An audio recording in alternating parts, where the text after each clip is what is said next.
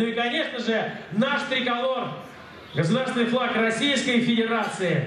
Сегодня выступает наша команда в полуфинале, а финал танкового биатлона первого дивизиона состоится 5 сентября, дорогие друзья. Сборная Казахстана на втором круге. Фланговая стрельба. Напомню, что у первого экипажа не здорово. Не здорово, мягко говоря, получилось фланговой стрельбой. А были допущены промахи, а пока первая мишень уже в поле. 1600 метров. Нельзя останавливаться, движение нужно так осуществлять. Красные, Российская Федерация, наш командир танка, вы посмотрите, ярко флайер сияет и дымится, говоря вам о том, что дверь противотанкового орудия слева, вы видите, откололся кусочек стекла.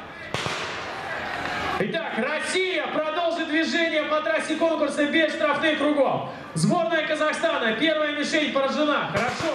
Вторая мишень в поле. Продолжает добивать мишень противотанковое орудие наш командир танка. Это Дмитрий Бочкарев.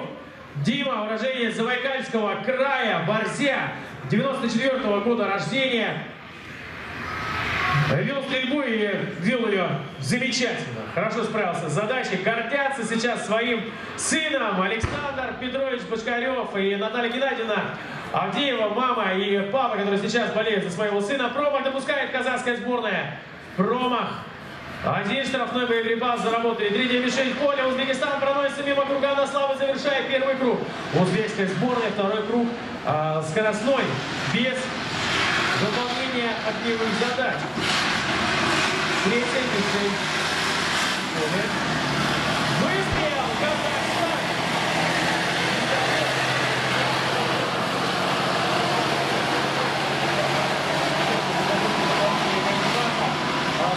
два артиллерийских выстрела и вновь открывать огонь по данному движению гребенка. Сейчас гребенка проходит Узбекистан. А, не вызывает проблем гребенка, как вызывает проблемы зачастую как раз таки участок минно-взрывном заграждении. Сразу же после гребенки искусственной неровности выходят механики водителей и порой допускают ошибку.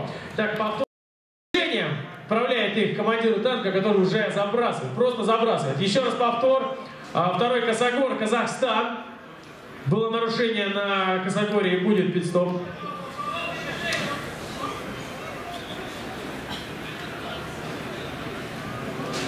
Так, второй экипаж сборной Казахстана на последнем круге стрельба из э, спаренного пулемета по мишеням номер 9.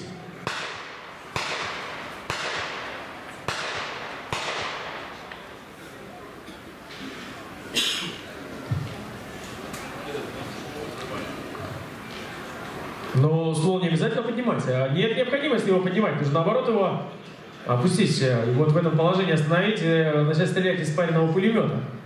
Три мишени видны прекрасно, просматривается желтый цвет, по-моему, один из самых ярких цветов, э, ну, касаемо цвета мишени. Очень удачно э, распорядилась жеребьевка с цветом, повезло команде Республики Казахстан. Вот и команда Российской Федерации, боеприпасы загружены. Южный военный округ, третий экипаж. Наводчик-оператор Геннадий Шалтаев. 1600 метров, мишень в поле. Одну мишень поражает Казахстан, а мишень номер 9 РПГ.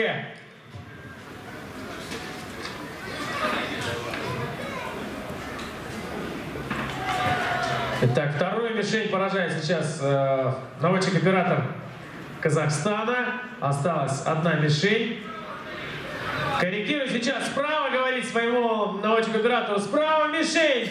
Сосредоточь огонь на нее. Ну что ж, хватит ли боеприпасов? А наш экипаж продолжает движение, ведет поиск цели. Геннадий Шалдаев.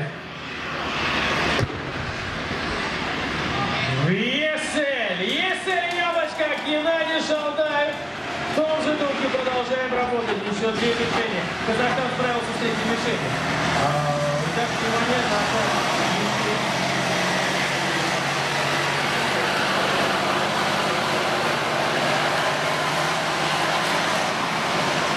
И выстрел еще один. Ну что ж, нужно будет повтор.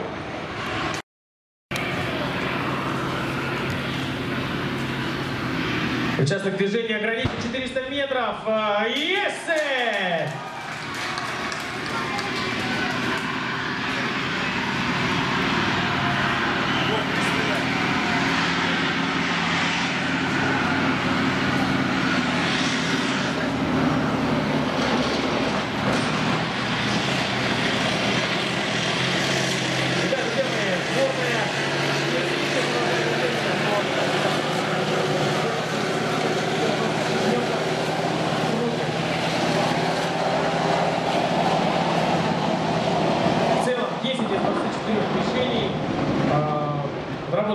Если! если...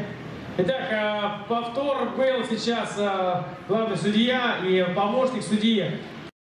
Таджикистан загружает боеприпасы. У Конго пока проблема. Возможно, что-то со связью. Да, просил радиостанцию у полевого арбитра.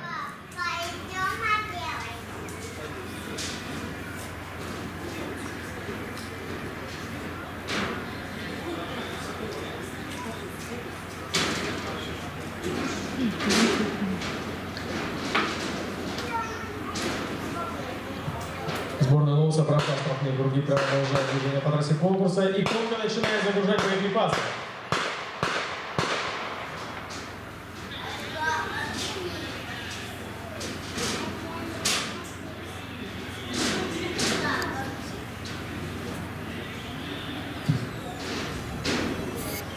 Так, нужно нужно наладить связь. Возможно, сбилась настройка радиостанции.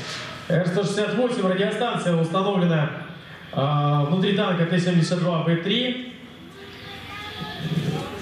И, быть может, нужно ее попросту заново настроить. При движении могло э, попросту сбиться частота. Сборная Таджикистана завершила загрузку боеприпасов и продолжает движение по трассе конкурса, выходит на рубеж ведения а, фланговой стрельбы.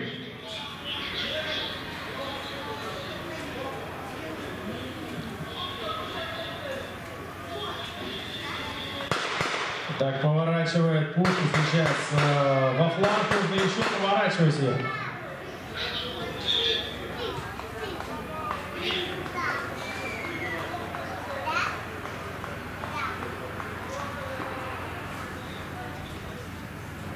Так, внимание. Мишени уже э, докладывают о том, что в поле первая мишень стоит для сборной Таджикистана на рубеже 1600 метров.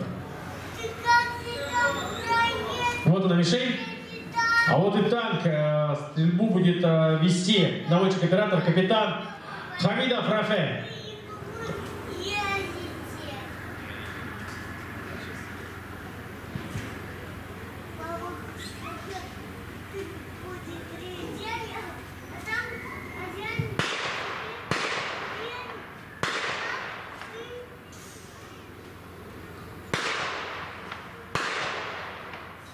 Ведет поиск цели. Пока цель либо не обнаружена, либо еще есть какие-то проблемы. Тренер сейчас прямо такие вот в двух метрах от меня находится, друзья мои, старший тренер команды, который на прямой связи с командиром танка. А, говорит ему о том, что видишь ли ты цель, спрашивает, видишь ли ты цель, доложи мне, наблюдаешь или нет. Если наблюдаешь, то стреляй.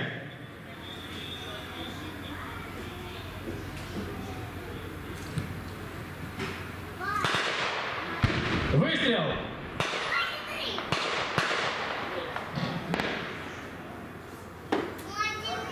Цель не поражена. Вторая мишень в поле.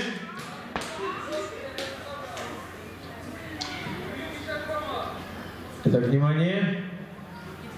1700 метров.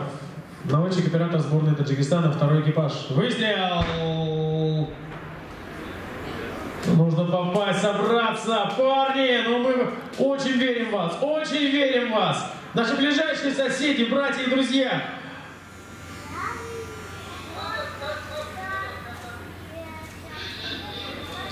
Третья мишень в поле.